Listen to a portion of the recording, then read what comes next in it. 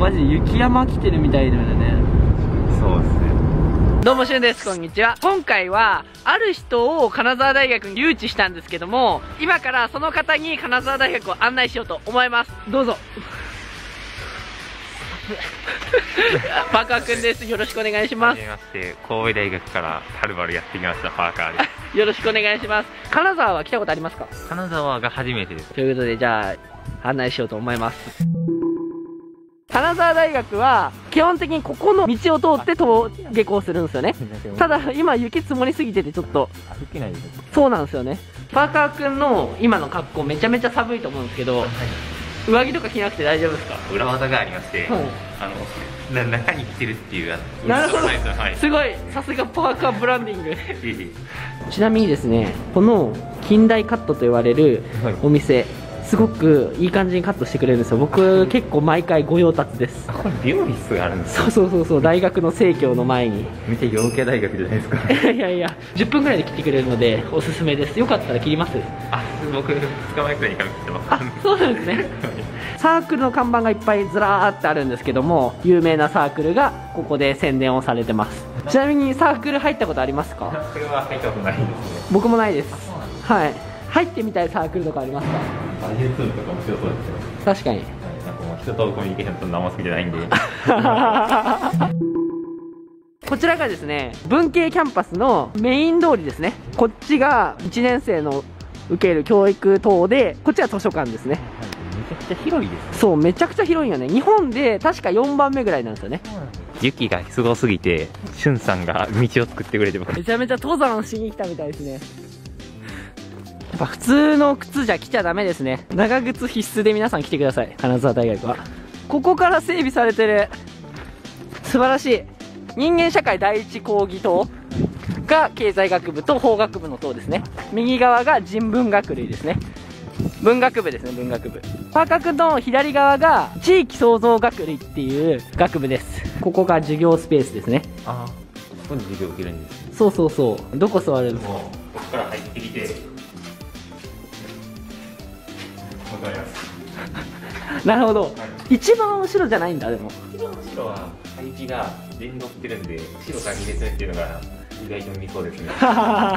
入り口から入ってきて反対側まで移動するのが目立つんで嫌なんでこの入り口サイドまあもう鉄則ですね。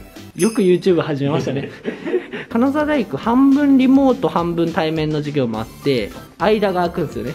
こんな感じでバッテンがあって。ああなるほどいいねもう隣に人が出てこないってい。うのがもう担保されてるんで確かにね。ちなみにこちらはですね僕らがよく受けてる授業の教室です。101講義棟どうぞパーカー君。広広いですよね。こういう大きめの授業もありますよね大学。とかねありますよね。YouTube は何で始めたんですか？結婚とか考えたりします？本話カフェ。カフェスペースですね。図書館の横にあるカフェ好きなんで。あ本当ですか、多分金沢大学来たらもう8割ここに滞在してると思います。ここコンセントがないですけど集中はしやすいですね。もうこの2冊持ってるんで。あどれですか？意外とお水用のやつ。えー、はい面白い。すごい。コーヒーあそうですそうです。サンドイッチとポコーヒーが売ってます。いいでも安いんですよね。確か。オール290円ね。一番今日でテンション上がってる気がするこれいいっすよね。あここはなんか大学の橋みたいな。そうです。理系と文系をつなぐ橋なんですけどもめちゃくちゃ景色がいいんですよね。対面の授業がもしあって授業の教室変わるとかだったらめっちゃ大変ですね。移動するの。これはこれは2本目の橋なんですけどこれは雪対策済みです。あそうですよ次屋根がついてますね。そうそうそうそう。よかった。大学1年生とかまだキャンパス行ってない人も多くてあはい。はいこの動画でね、行った気分になっていただきたいなとあ思います。なるほどですね。日本にこんな場所あるんですね。ここが自然科学本館です。ああすごいなんか急に理系感が出てきました。そうそうそうそう。今工事中かもしれないけどめっちゃ綺麗なんですよね。めちゃくちゃけたたましいトラックがありますね工事中じゃないですか。そう。やっぱ理系は広いっすね。あ確かに研究室とかいっぱいあるんですね。医学部とかはまた別にあってはい。自習スペースは死ぬほどあるので自習したい方はおすすめです。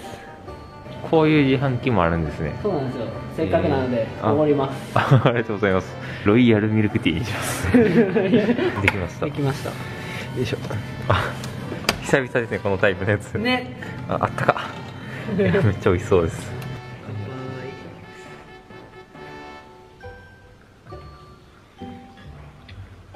うまい。あ美味しい。パーカー君がさっきおすすめの就職先ないですかっておっしゃってたじゃないですか。はい。マイクロソフトめっちゃいいですよ。いやそんな超有名企業無理。僕は週3なんですよ休みが、えだからぴったりじゃないですかパーカー確か君にそうですね。週3休み欲しいですね。ね YouTube もできるし仕事も両立できるし、受けてみます。うん、ぜひ受かると思いますけどね。いや尊敬する人誰ですか？科学者の落合陽一さんとかがすごい好きです。確かにちょっと似てるかもしれないね 雰囲気。落合さんの研究室行きたくて筑波大学に新入しようとしたんですけど。言ってましたね、はい。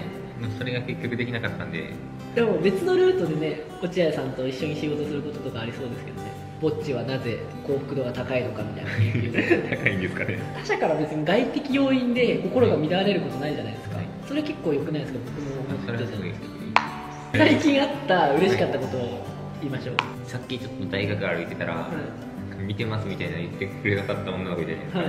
そ れちょっと嬉しかった。おーすごい。な確かにね嬉しいですよね。なんかリアルでとコメントとではまた別の喜びがありますよね。はい、会っただけでそんな喜んでもらえるの確かに確かに。すごいありがたい。ということでですねパーカー君に金沢大学を簡単に案内させていただいたんですけども、はい。どうでしたか金沢大学？めちゃくちゃ面白かったですね。全然僕の大学と違うなっていうところ多かったですし雪がもう好きすぎて金沢大学の人たちも今キャンパスには来てない人が多いと思うんですけど大学1年生とかねこんな感じであのキャンパスはなってるのでぜひキャンパスに通う日を楽しみにしててください。またパーカー君遊びに来てください。ありがとうございました。僕のせいで金沢大学の倍率が下がらないことだけは いやいや上がると思います倍率。ということでありがとうございました。いやありがとうございます。こういう人と結婚したいとかはありますか？一日のスケジュールってどんな感じなんですか？最近塾で働いてたりとかも。うん、昼食はします